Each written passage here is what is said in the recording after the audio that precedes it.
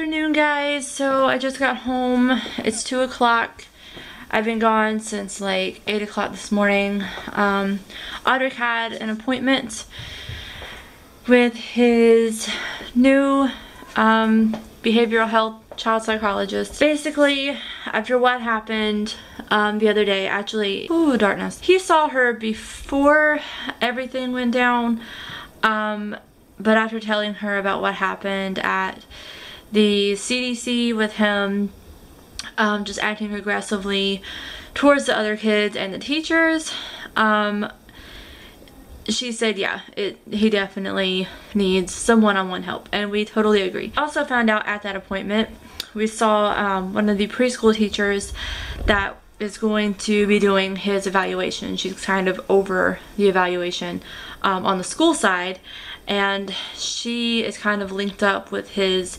psychologist who's also going to be doing the ADHD slash autism evaluation on the medical side.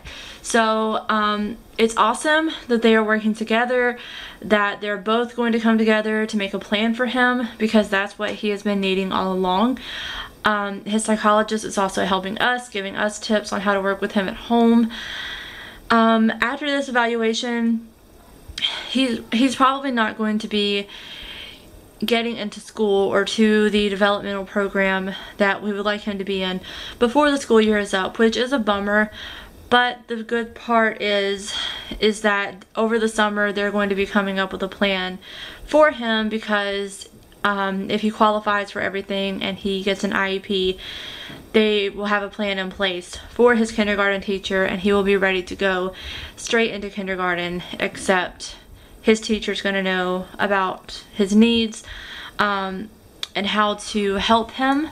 So that just, I mean, it made me want to cry because knowing that he's finally getting help, he's finally, you know, we finally have a plan for him, um, is just incredible. So pretty good morning. Picked up John at work. He went with us and we went over to the other post where Otter's appointment was. And then after the appointment, we went to the commissary because we had to shop for party food. Kimber's birthday party is tomorrow. Um, the last time I heard there's going to be a good amount of people here. It's also kind of our welcome to our house party. I won't, I don't, I don't really want to call it a housewarming party because we're not getting gifts or anything, but um, it's the first time we're going to have people actually come to our house. We're going to have a lot of food. I mean, this is what we got. Um, a ton, a ton, a ton of food. And I have several dishes that I'm making. So, should be fun. I need to open up these windows because I'm sure all of the people who live on our street across from us think that we are hermits because we don't I don't know, we like hardly ever open these blinds. But I can't find curtains to fit our windows. There's a heater back there, so I don't want the curtains to be long. It's just hard to find them that's like that size. My kids are being cranky. Very cranky today. I'm not even gonna bother with that one right now. Another issue I'm dealing with is boxes everywhere. Now that my wonderful husband helped me build um, our built-in bookcase. We have even more boxes and all of this stuff is just box trash. The moving company told us that we could call them and they would come pick up all the boxes once we were done. I still have a couple more boxes upstairs to um, go through and unpack but I don't know what we're going to do with them tomorrow for the party. Like I have no idea. Also, tomorrow morning, um, our new table is being delivered. So I had a guy custom make a little entryway table. Like when I say little, I mean little. Um, he custom made it to fit this area right here between the stair banister and this.